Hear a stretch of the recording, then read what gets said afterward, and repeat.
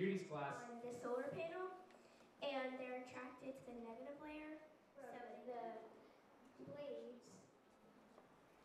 Next, the uh, batteries from overloading and not Up here with the solar panel, so clean energy. Clean energy is much healthier for people, our entire planet, and also doesn't pollute Department of Energy, and I was um, really just inspired and wanted to do what I could to help. So we can plug things in. A breaker will turn on, and that doesn't let any more doesn't let any more electricity in. Three.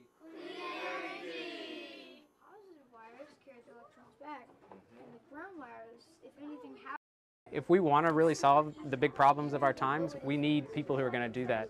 We need kids who um, not only learn the skills but, and the content, but have that motivation, that desire to really solve these problems. And it doesn't let any more electricity in. Three.